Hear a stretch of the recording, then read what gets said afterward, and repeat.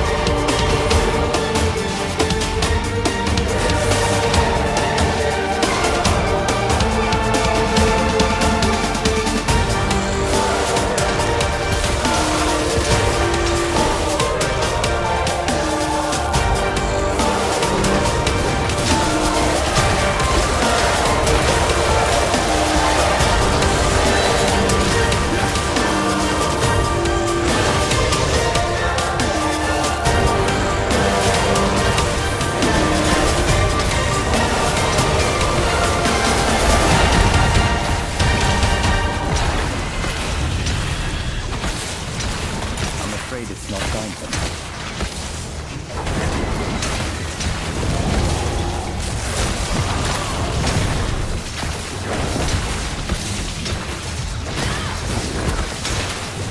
This is the PWD Chinoy Gamer, saying thanks for watching, and see you next time.